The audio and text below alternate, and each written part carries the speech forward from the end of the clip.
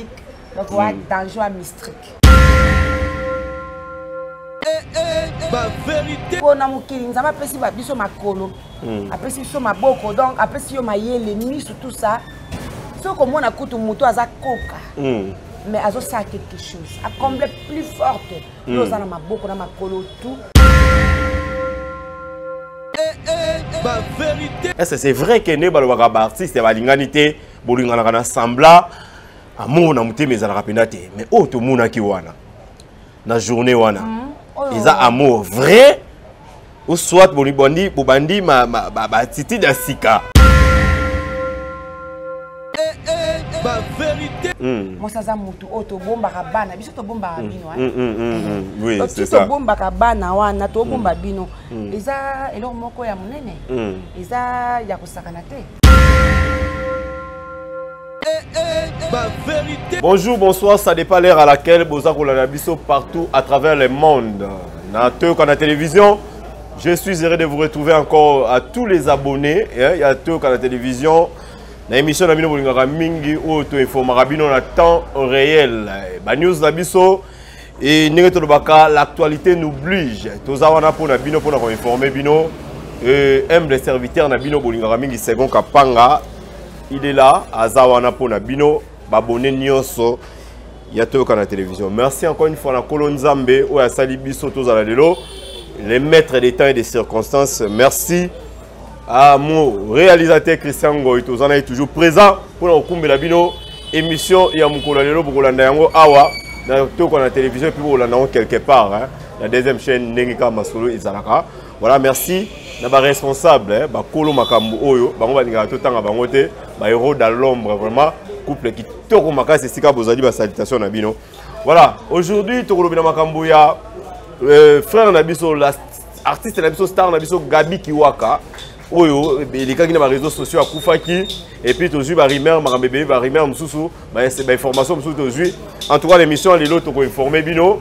yango epuis tokoinforme bino lisusu karaoker karaoke ya baartiste comédienne oyo basanganaki initiative oyo ezalaki organisé euh, oyo ezwamaki na idée ya karine pala au capi de la mode oyo asangisaki bandeko na ye bacomédienne mpo bakende ba bapreste baclotire bongo mois de la femme na bango en beauté na koyemba malgré tout bacomédien mais émission mingongo ezalaka te badebouyaki en tout cas tokoyoka yango tokozwa badetail na émission na biso oyo vraiment tokolobela lisusu bolamu to mpe babienfait ya xil pechanga black light oyo asangisaki bacomédien honoraki ba icone ba mama na biso lokola ba mama impala ba mama alinga eh, ba mama na biso boka ba mama bipendu ba mama pembele en tout cas asangisaki ba mama wana pona ko honorer bango toujours na cadre ya ko clôturer mois de la femme asangisaki ba mama na biso na Rotana hôtel en tout cas eh, coup de chapeau black light black light coup de chapeau pena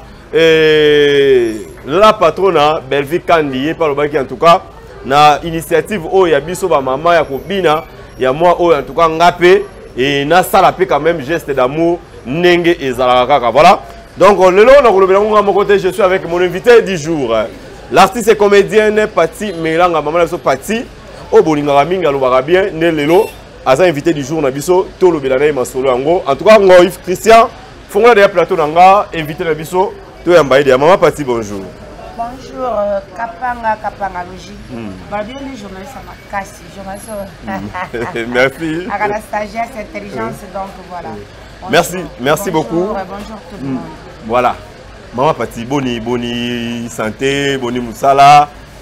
oza nanu namoni oza nanu na ba fatigue eh, ya karaoker karaoker atika santé eh. nzambe abomona azobatela eh. nazali donc hmm. grâce ya nzambe eza toujours hmm. merci beaucoup quand même parce que oza fatigue hmm. et à peine lobi oyo bouti kosala déjà prestation na bino ya bamama bafemme artiste quand même oza fatigue fala ose reposer mais ondimi quand même invitation na nga en tout cas merci encore une fois ah,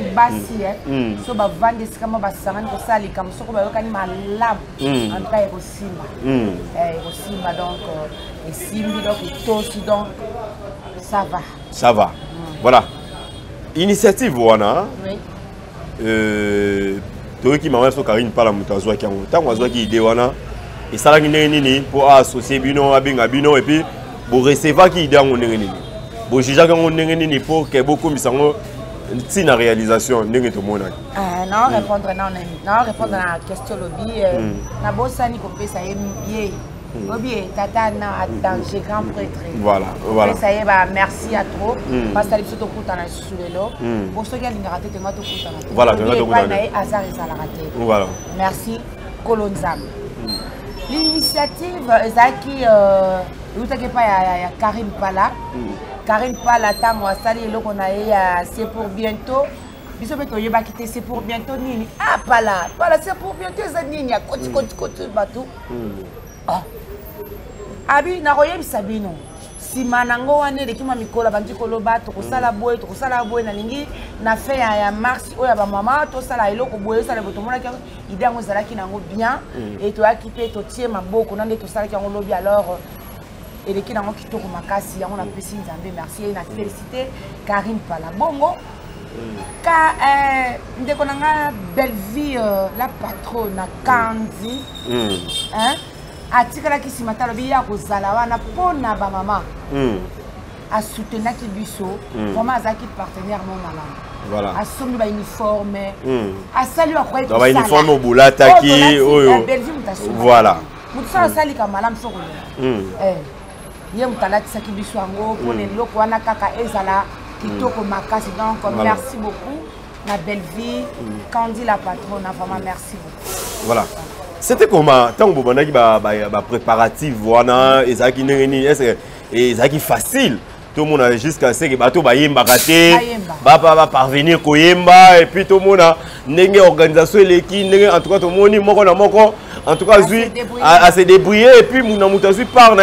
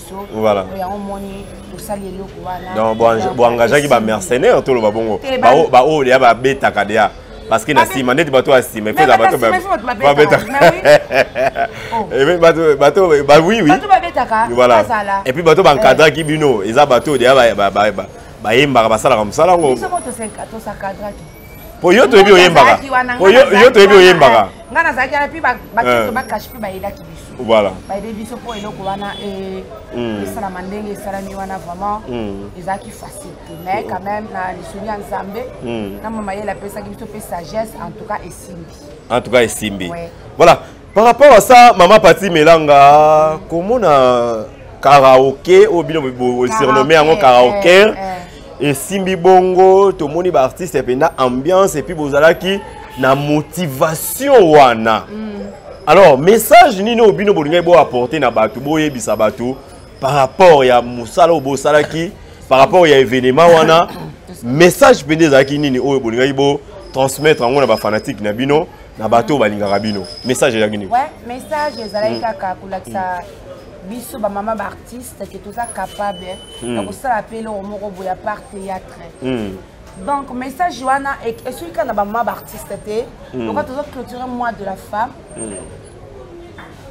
ti na basi nyonso topesi baki nyonso lokumu mm. na nzela na biso mm. mpo bata mokili balobi éduquer une femme c'est éduquer une toute, toute la nation voilà donc basi nyonso bisika bazali bazala mm. capable mm. de faire quelque chose mm. même so osalaka yango te meka ose mm. ah. ose e okomona okosala hmm. mpo na mokili nzambe apesi ba biso makolo hmm. apesi biso maboko donc apesi yo mayele miso tout ça soki komona kutu motu aza koka hmm. mais azosala quelque chose acomble plus forte yo oza na maboko na makolo tout osala te donc la femme est capable de faire oyo akoki kosala te akoki kosala yango donc toza utile na makambo mosusu mpo namonaka mpe nayebi bafille mosusu baza ba baza ba électricien mm, mm, mm, basani ngai mo nde naza boye epa esika nafutelaka kuna nazongisaka courant ah bon ouais nazongisaka courant vraiment donc la femme est capable de faire oyo euh, oyo ekopousse asala na eloko olingi ekokoka te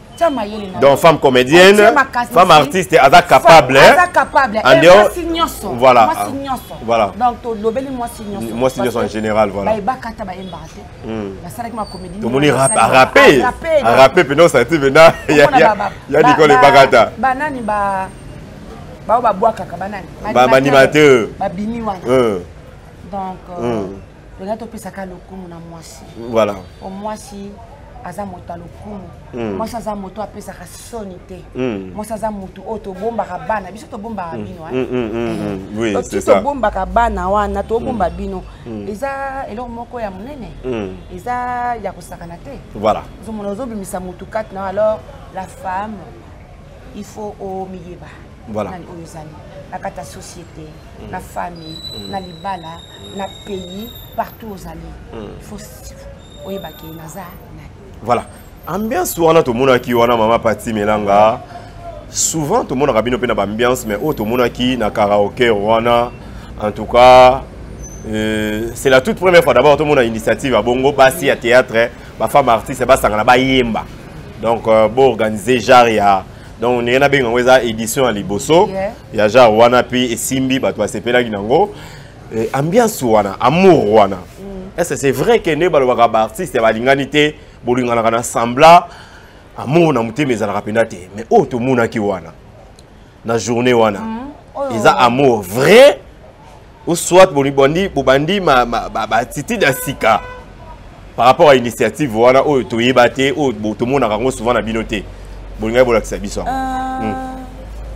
kapanga toza na bolingo hmm. nasala émission moko nalobi boye hmm. soki ngai pati melanga nalali kaka na se naoyoka malamu te na beli yo komona ndenge internet ekoyinda hmm. bandeko na nga baoya baosalisa nga bemission ya kilikiliki hmm. na mbeto hôpital nga kuna oyeba eloko te msu babengi bana na nga elekaki ndenge nini hmm. esalaki ndenge nini tozalaka na bolingo seulement ke place bato bazali mabe ezangaka nango te mais il faut toyeba kaka kose supporter ozomona tolinganaka mapapa na ngai tolinganaka eza kaka keno esika nkolo azo regne ye wana mpe aregnaka na ye voilà ozoma awa alinga kimia te hmm. awa alingaka kotrouble bato bato bazala salut hmm. donc bazala na banimporte quoi hmm. ozomona toza na biso ensemble eloko tozalaki na bolingo wana e tozalaki déterminé tozalaki na confiance na bamoko na misusu donc tozalaki euh, na volonté volonté oui yango likambo yango pesani mais bolingo mm. ezalaka nango papa mm. bolingo ezali mais yo moko constant nini osalaki par rapport ya événement na bino wana ntango mm. bobandi barépétition bozwaki idée bobandi barépétition bobandi kopréparer yango jusqu'à ce que bokomaki na réalisation ntango bokomi bopreste epuis bosilisi eloko nini osatandaki na yango te omoni yango epuis eloko nini oyo oremarke oyo esali yo quand même bien bon eloko esalaki nga malamu mingi hmm. komona na libandeli hmm. na libandeli bolingo tozalaki na yango ya hmm.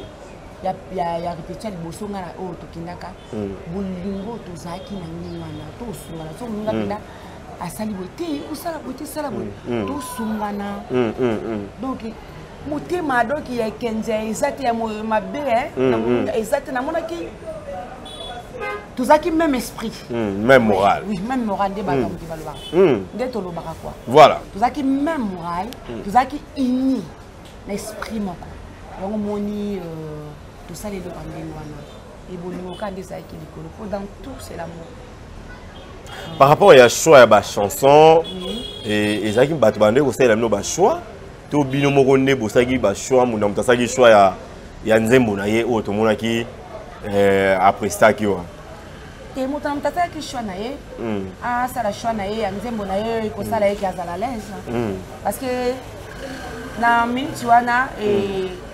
malgré idée eza ya kala mpo na biso banzembo te hmm, hmm. boso aponi nzembo oyo ngai nayebi na ngai yango te mpe na koyemba yango te hmm. atikaki motu noto azalaki à l'aise moto moto azalaki na mpo na ye azwaki nzembo na ye apesi baketo bakaji batravaille yango donc ezalaki ndenge wana nde ya gabi mpena tomoni ye pongo love ya gabi mpena pongo love hmm. vraiment voilà wewe ekendaki vraiment ekendaki félicitation ya gabi mama tumba tumba félicitation comment dirais-je hmm. tozwaki yango voilà. tozwaki yango donc ekoti na motema bapalmiche tomoni eh. wana baprincesse ilusta oui je crois eh. eh, moto na moto balaki korepete hmm. na ndako ezanga te hmm, moto na moto balaki en dehors ya repete na bino ensemble ezanga te po eloko moto azo prépare okoyebana oyo aprépare te ekoyebana oyo moto aprépare omona mpena koyemba yango nzete mm. ye moto ayembaki yango voilà mais oyo oh, préparé no tomona yemba oka vague vague vague vague mm, mm. donc ezalaki préparé mm. mais siko par rapport ndenge bacollègue na yo nyonso baprestaki tolongoli na oyo osepelaki na prestation ya nani na bacollègue na yo nyonso je nini oyo osepelaki na parce que quelque part to bape mwa comédie musicale ezali na kati wana biloko ya nicole ebakata asalaki mais par rapport ya bacollègue na oyo mpende esekisaki yo to eh,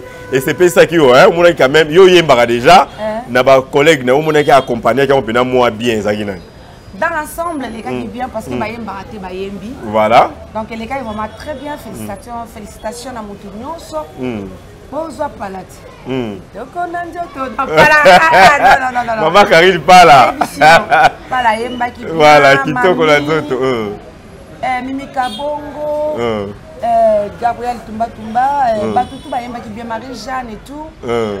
sikoyo ebakata lokola aza bakule voilà abakule mpe a mystrique voilà asali na ndenge na ye bakule ya ba mystrique voilà na ndenge na ye azo rafe na ye misio azo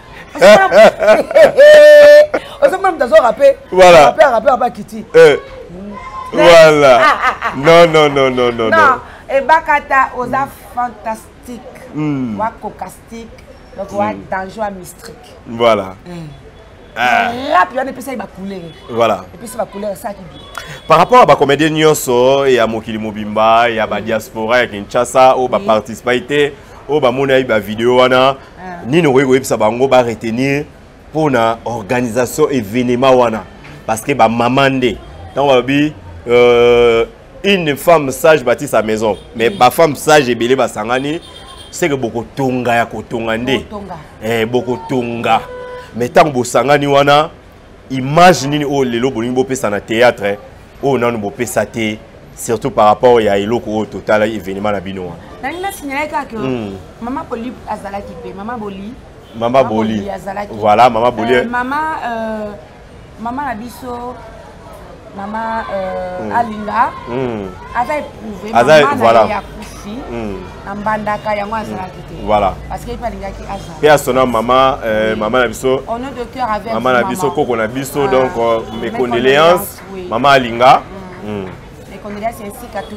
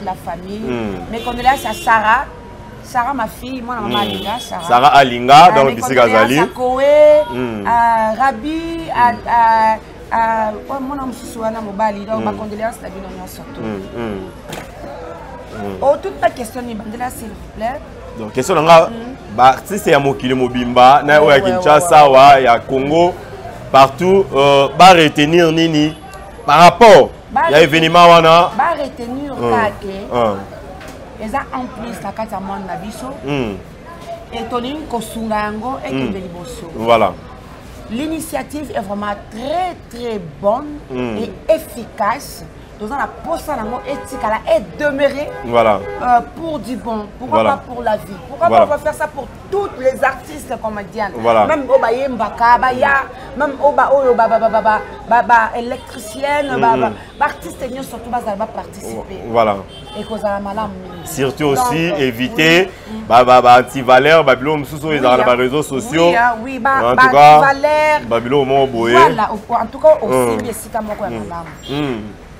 pe éviter mm. parce que ntango tokopesa image ya mwasi mm. tokopesa image ya mwasi na ndenge ya bomama na ndenge ya respect balobaka na ndenge ya ya ya, ya babangi na lingala na lingala babela lingala ya mpifo hmm. voilà il faut wana bomemia wana limemia wana voilà donc hmm. peut éviter ba antivaleur hmm. peut éviter ba n'importe quoi surtout na youtube hmm. peut to changer même la tête na biso parce que nous sommes deux mamans deux femmes de valeur deux femmes oyo oh, bazo tonga un prière na kati ya mboka kongo voilà donc voilà donc nana o ajouter wana voilà, voilà.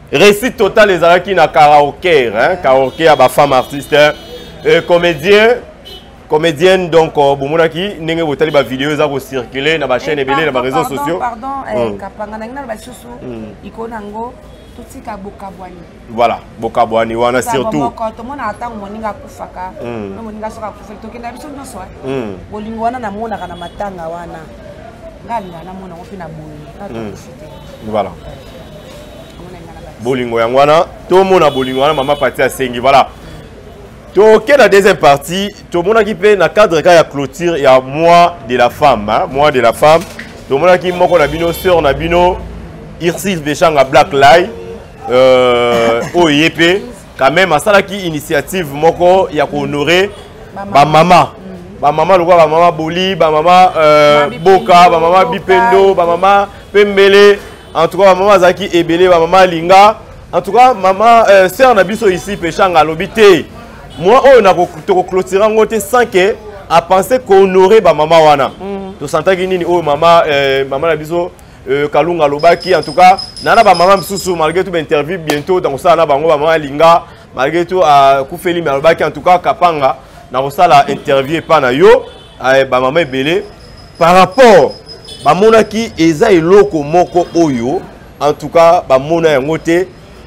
mwana to leki na bango a reconnaître mosala na bango a invite bango alesa bango amelisa bango apesa bango oyo apesaki bango en tout cas par rapport à ça euh, mama pati melango okoloba nini par rapport à initiative wana ya, ya peshanga eza mpe kitoko makasi nasopeli ye bafleur parce que neti nga nayebaki yango te hmm. nayebaki yango te ke abekisaki bato hmm. bon so abekisaki nga mpe na nga naya na nga voilà mais lokola nayebaki yango te moke hmm. nazala ezalaki te eh, voilà parce que ezalaki ka bamama te y avait ici de, de personnes bato bazalaki oui bainvité bazalaki bacomédien mosusu bazalaki acontinue eza initiative ya bien tokanga moto te soki alingi asala eloko na eza te mpona oyo asalaki oyo asala te non voilà tutu aza libre na espace ye azali voilà asala quelque chose voilà asali soki ide na ye motema na ezopunzapunza hmm. asala eloko pourquoi kotya ngo kofélicité hmm. yango te kosopele hmm. bafleur te akende liboso eza initiative ya bien nasopeli ye bafleur bafleur cote chapeau Si le pécheur a mon pécheur, mon pêche pêche. Voilà, félicitations à toi, euh, l'artiste, hein, ouais. Ursule Péchanga, Black Live. Black Live, en tout cas, initiative. oyo osalaki en tout cas esimbaki nayoki bacommentaire soki opermettre biso toluka yo en tout cas tokoluka yo tointerviewe yo parce que bamama jusqu'à présent bamama baondima te oyo osali nayoki bamama bapamboli yo na oyo osalaki na oyo oreconnaitraki bango eza vraiment bainitiative ya bien yango wana mpe kosenga na motu nyonso mpe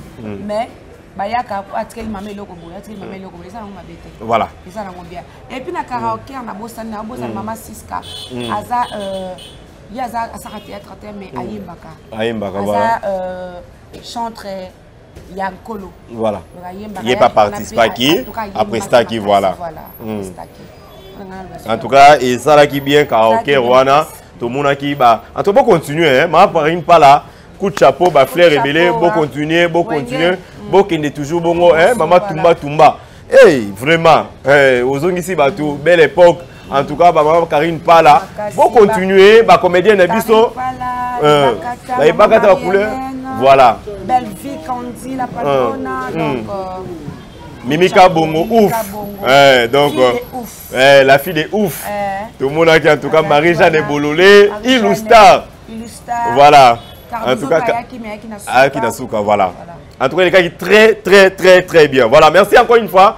tokomi na troisième partie na biso mpo na kosilisa émission na biso mm. troisième partie ya émission na biso tozoloba makambo ya euh, l'artiste et comédien gabi kiwaka oyo babomaki ye na bareseau sociaux moto akufi te mai babomi ye mm. o akufi o boye boye boye boye boye parce que gabi ntango tozomona gabi tozomona yo pourquoi tozomona yo parce que Gabi azalaki président na yo ya groupe évangéliste. Ye moto alakisanga mosala. Ah ok. Ye moto apesanga groupe. Voilà. Ya kokota ya kosala et puis ye moto ayebisanga asalaka boye. Oh, voilà. Atunanga oza ekolo na yo se nazalaka mongo. Mm. Abi incarne kaka koko na mila ba mongo. Mm. Salaka ngai ngai na saki ya kati na yeba te ke je peux na ko saki. Voilà. Papa Gabi tapesanga kuwana. Voilà.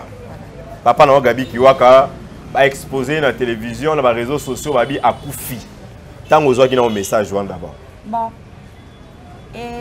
touchaki nga makasi mhm. vi koyeba basituation mosusu mhm. barealité mosusu aza nango mhm. kuna epe eloko ya boye lisusu ebima tuka nayaki shoke ya kosakana te epi nayaki ya mbete so naotambola baoki nanga gadi kiwaka akufi voilà bazotuna tuna ngai donc nazalaki mpe aderange epi naa derange ti lelo donc euh, papa rabi nzambe abatela ye kaka abatela ye hmm. eloko eza important yango wana batela ye apesa ye susu vie molai hmm. parce que seigneur aza capable hmm. ya kozongisa makila sika misisa sika mikuwa ya sika bongo ya sika na bomoi ya moto nzambe aza kapable voilà. soki azwaki mikuwa azongisi yango na misuni donc il est capable de tout voilà. papa gabi seigneur asunga ye abatela ye vraiment eh. mais toyoki mpe euh, il paraît avc toyoki yango voilà na basitation mm. nyonso papa gabi mm. ozo surmonte mm. nzambe abomoi wana akanisa yo mpe azala na yo osalela nzambe mingi bible olobi seigneur abosanaka te basouvenir voilà. bana ye basalela ye voilà. nzambe azalaka ingrat te lokola biso bato te mm, mm. eza na bato mosusu bakufa mpola alamusa bango akanisika likambo moko donc mm. soki alamusaki lazare ape capable ya kosala epa gabi mm. azonga bonne santé voilà, voilà. Euh, que le saint esprit azala na ye vraiment Voilà. Merci maman Pati Melanga que le Saint-Esprit a na euh, papa na biso Gabi Kiwaka et, et si... ma famille na bango parce que voilà. bango baza choqué. Hein. Baza choqué makasi. Toyoki AVC. Mwasi déception mwasi ba stress wana et meme na AVC. Et puis selon ba rumeur mususu aza hospitalisé selon ba rumeur mosusu tozoyoka selon ba information mosusu aza entre la vie ou la mort je sais pas tozoyeba te vraie information eza nini mpo na papa gabi kiwaka papa gabi aza hmm. epai ya leki na ye bienvenu kiwaka hmm. aovanda na ndako ya bienvenu kiwaka hmm. aza hospitalize te aza soki wapi te aza na ndako ya leki na ye leki na ye mobali ya sylvie ya sylvie bandungu azobatela ye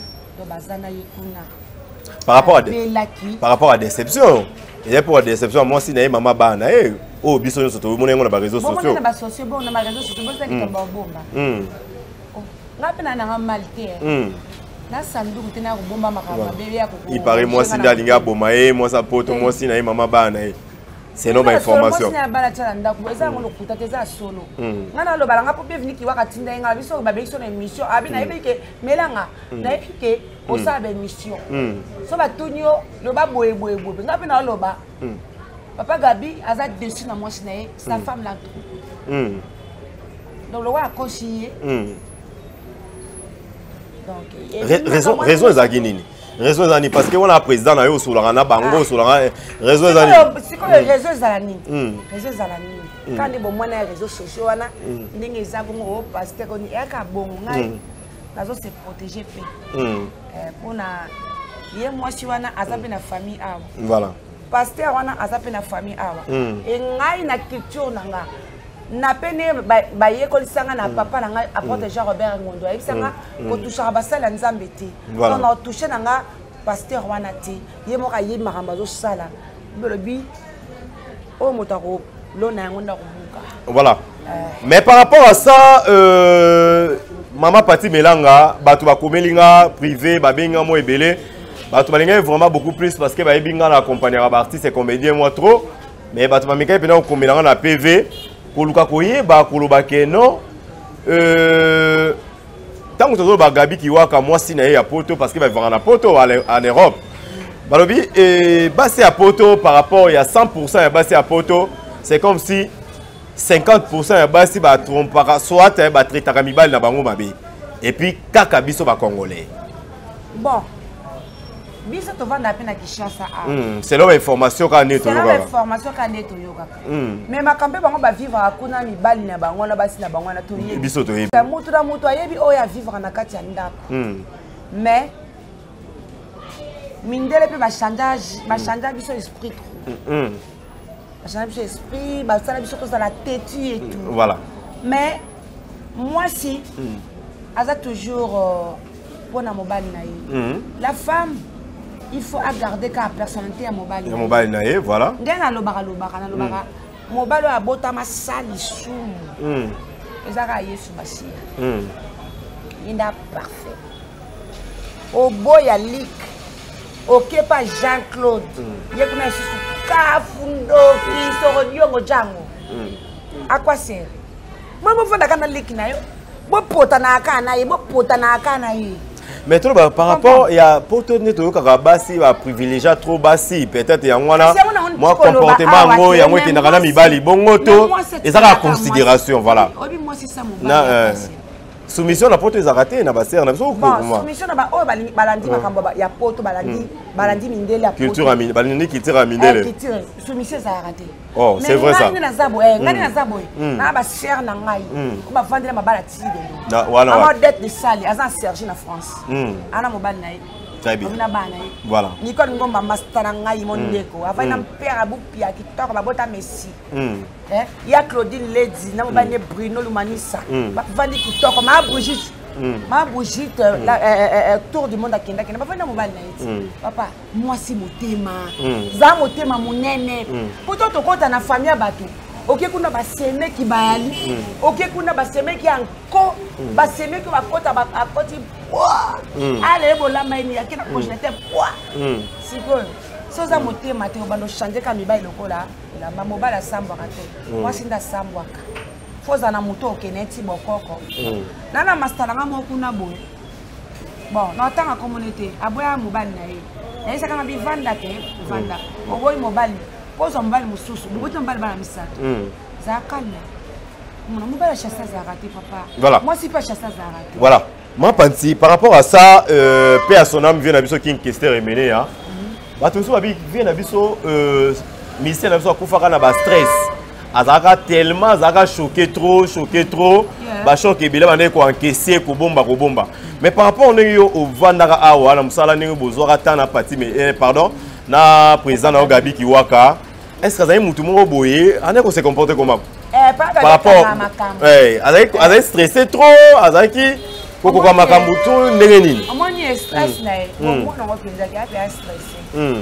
Eh, azala bongo hmm. bomona stresse surtout ngai hmm. ande kostresse trop ngai nandekoa ningo mbambe so tobi tostresse papa gabi abombaka mpe taolakisa ngo ke bana oyo bastresse nga abanda abombaka motu oyo abombaka likambo abombaka likambo du fait que ozobomba makambo yango wana ifa kuta na bongo so aza neti vie na nga devoce mosoba kina basisa ya mbesi vie na nga mosoba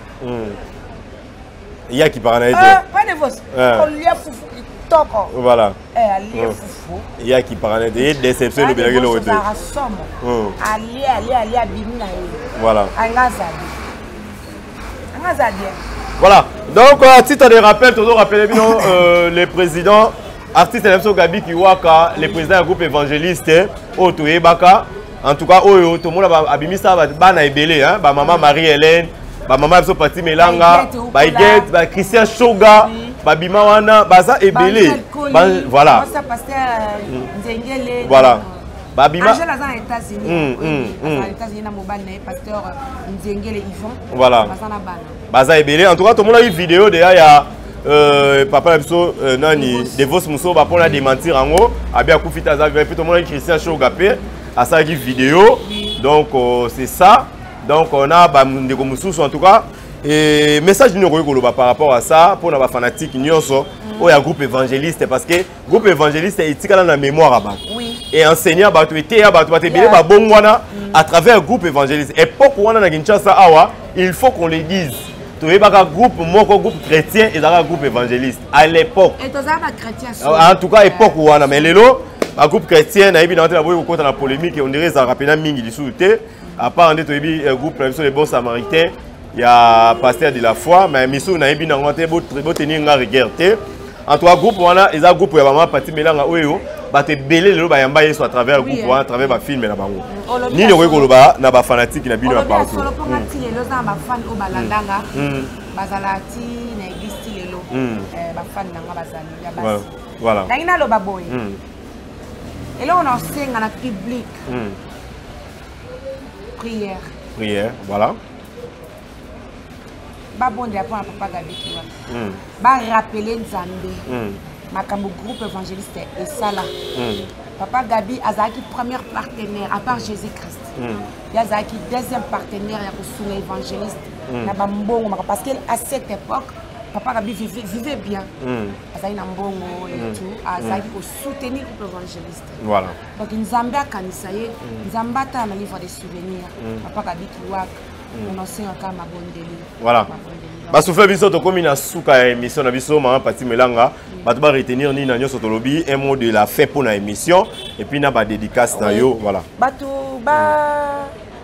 bayeba ke neti nga particulièrement mm. nalinga bango mingi bafani na biso mm. bandeko na nga bianga bandeko na nga bafamille na nga nzambe mm. apesa nga lingaka bino mingi bozala toujours wana bondima biso na mabe na biso na bolamu na biso bondima biso ndenge kaka tozali parce que na bafamille na bino eza mpe na bana biso baza mitu mpasi me bolingaka bango kaka bongo donc toyaka na bandako na bino tokotaka tokakoma deya famille na bino donc soki boyoki likambo na ngai oyoki likambo ya motu songolo nalingaka mingi babenga ata en privé mm. mm. esa malamu bino je vous aime beaucoup mm. nazala toujours ensemble na bino badédicace na yo badédicace na nga mm.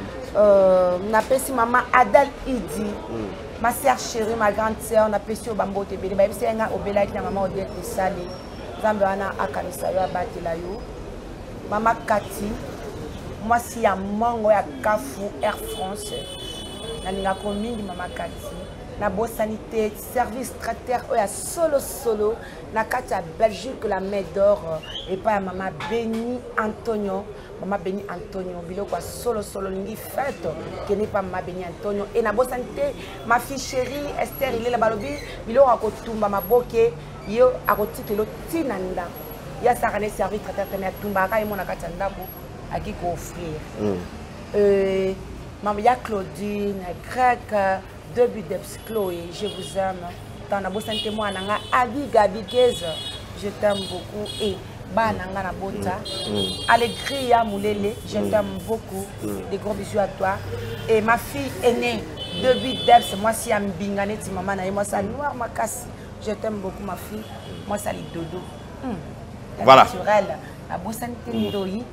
ya alegri ya ivete molele mwasi ya poto ya solo solo anuna te omoi kisango nde atali nga te ah vraiment eh, boye eh, kisango omoi nde atali nga te voilà donc bakomi ya suka émission merci merci euh, mama pati belanga na invitation na biso ndenge acceptaki merci bolandaki biso ebele merci na babos awa ya chaîne oyo balingaka batanga kombo nango te bahéros d'alom ngai mpe napesi bango bagros bisou voilà toyokana toyokana tv voilà eza initiative moko abe epuis kombo yango toyokana tv donc bango ndenge balingaka rancune tokoyokana balingana makambo mabe te voilà merci à toi euh, la mams hein, antoinette mansaka mama na kening claude salim merci bozalaki ebele de partout bolandaki biso merci Bon, continuez ko s'abonner, ko liker, ko partager.